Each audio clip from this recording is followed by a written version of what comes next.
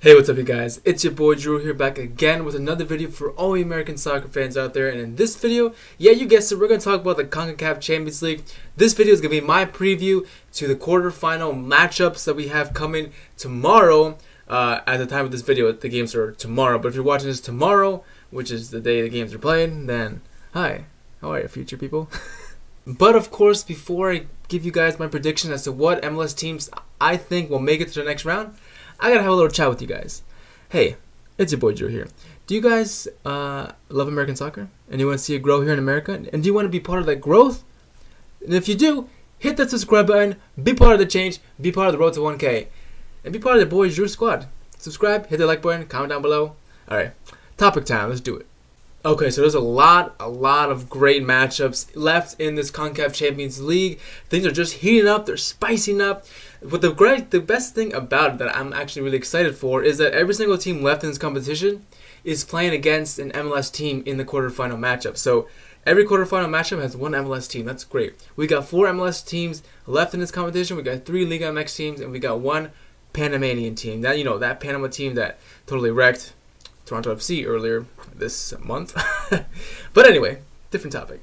Uh, let's talk about each individual lineup. I'm gonna give I'm gonna give you guys uh, you know what I think about that matchup, if I think the MLS team will make it through or not, and some key players as to what I think will be making a difference for the MLS team to make it through or not. So let's get to it. So the first matchup we've got here for your boy Drew and all you guys out there, all you American soccer fans out there, that's Santos Laguna hosting New York Red Bulls in Mexico. Santos Laguna right now sixth place in the league, pretty decent, not coming in in pretty good form coming against uh, coming up against a New York Red Bull team who coming off who yeah who is just coming off a 1-1 draw away at Columbus in the season opener.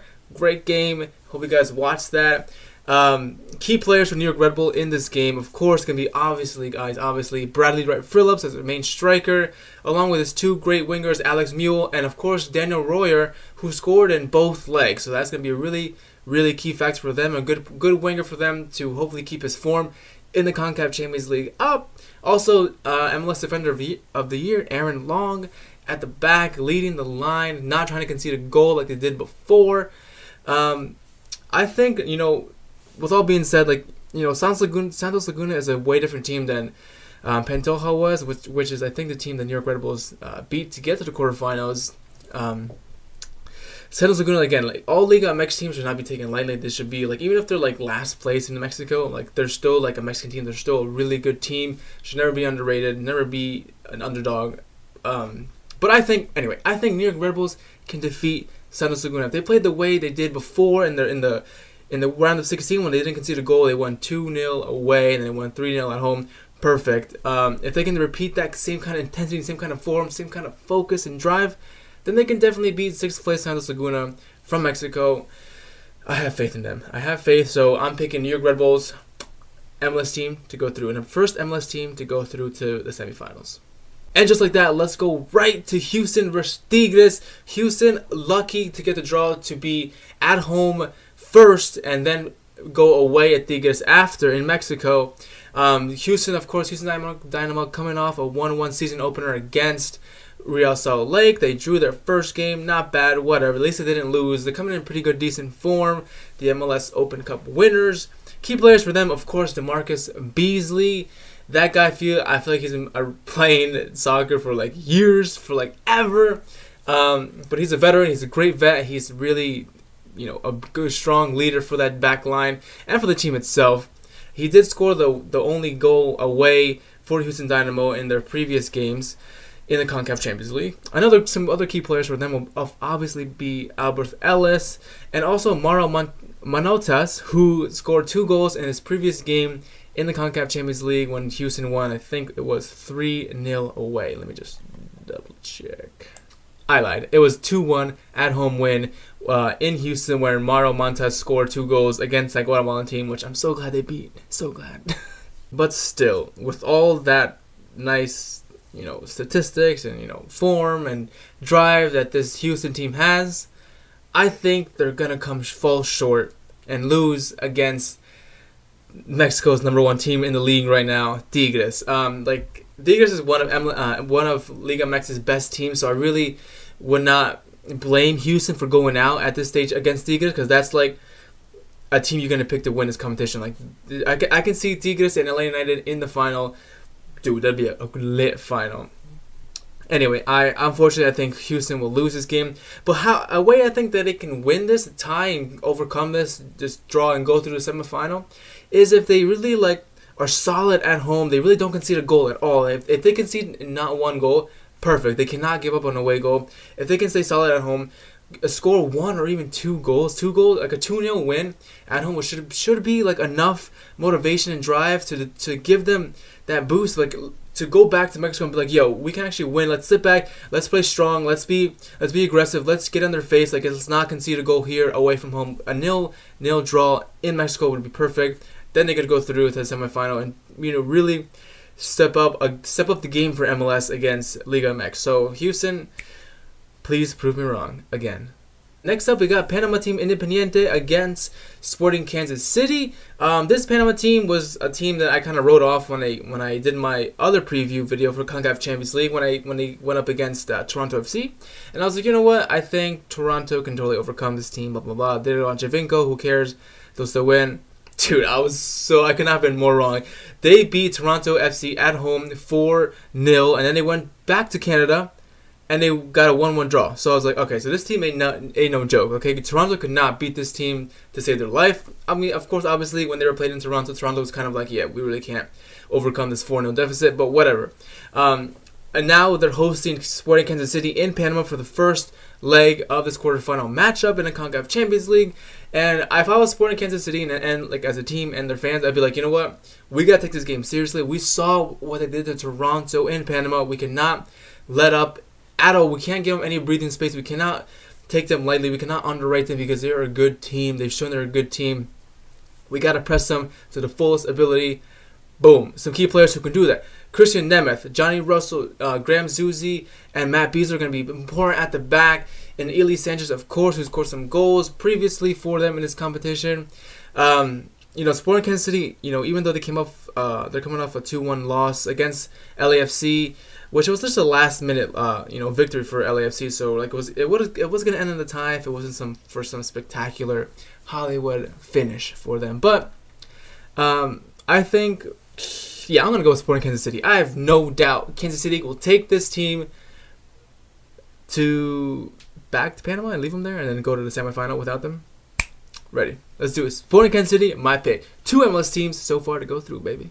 And the last matchup, which I'm very excited to actually watch and you know see how it all plays out. And by the way, if you guys are wondering where you guys can watch the Concacaf Champions League when it airs live, if you're in the USA, you can watch it on Yahoo Sports, which is weird. Watch it on Yahoo Sports, or if you guys have Univision Deportes, you can also watch it on there. But again, that's only US only. That's what I read in the article. Um, so if you're outside that, I believe there's like Fox Soccer uh, Latin America, which you, which is if you're in Central America and Mexico, so you guys can watch that there. I hope I hope I helped you guys out because because uh, if you guys find out where to watch it, obviously I'm gonna have a live stream for the final of this Concacaf Champions League again, like I did last year. Um, which uh, you know some good people showed up. It was fun. We talked, we chatted, and we watched the game live together. Um, but we'll save that for like when the time comes. Don't worry about it. All right, let's get to it. Let's get to it. LA United away in Monterrey in Mexico. Monterrey right now is the second in the Mexican League, right behind Tigres. So they're no team to F around with, okay? Atlanta United, of course, you know, coming off, unfortunately, a 2 0 loss away to DC United, which was kind of actually surprising. I actually picked Atlanta to at least get a draw in that um, in that season opener, but whatever. Frank de Boer's new team, which is kind of scary. You know, his is his new team. He lost his two his first two away games, which was the first one against Herediano, which was a what three one three one loss in the Concacaf Champions League. Then he came back, won four 0 at home to overturn that deficit, and now he lost 2 0 away again to DC United. Excuse me. So it's unfortunate that the first matchup right now, again, is Atlanta United away. I hope that really doesn't affect the team as much or their mentality. But obviously, key players for uh, Atlanta United to go forward and get a victory here in Mexico. Obviously, Josef Martinez up front.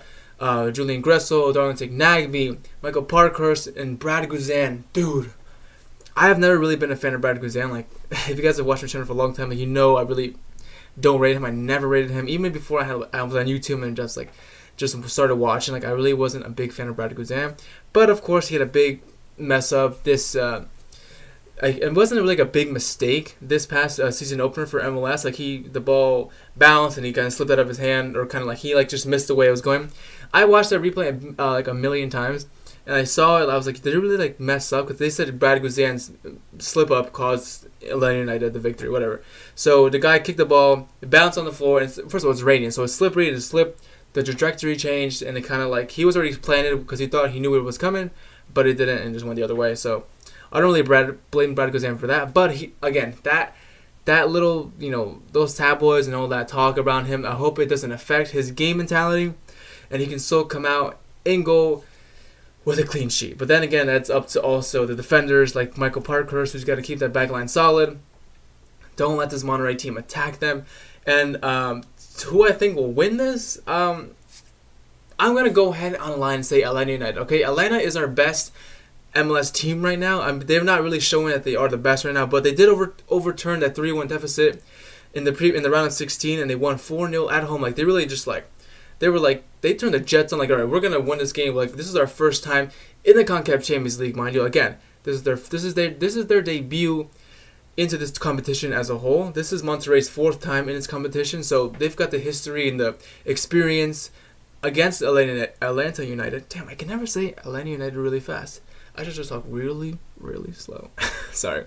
So they've got the experience against Atlanta United, and Atlanta United is this is their like I said, this is their first appearance in the competition, but they've got the players, they've got the quality, they've got the manager to really put all this together and overcome this really, really, really, really good Mexican side. And and if they do overcome this Mexican side, it'll it'll spark like wonders, speak wonders for MLS and American soccer as a whole. It's like people are gonna be saying, you know, are we gonna jump to Mexico, or are we gonna like, is our league really coming up to coming up to the Liga MX's league? Uh, if like if Atlanta and all these other uh, MLS teams can beat these Mexican sides, then yes, definitely. Because think about it, if all these MLS teams beat their Mexican opposition, there's no Mexican teams left in this competition. Just one uh, Panama team. But if everyone wins, can you imagine if every single MLS team wins?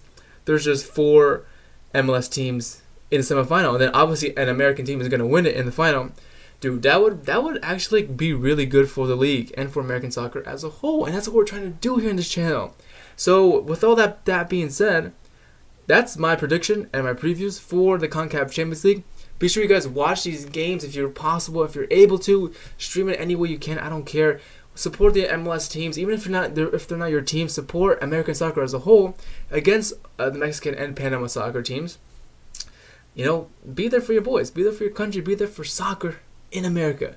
Um, and also be there for me and hit that subscribe button and that like button if you guys like this video.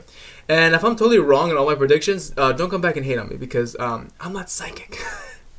anyway, guys, thank you so much for watching. I'd love to know your thoughts on all these matchups down in the comment section. I want something to read before I go to bed so my thoughts don't get the best of me. so, anyway, there, guys, thank you so much for watching. I'll see you next time.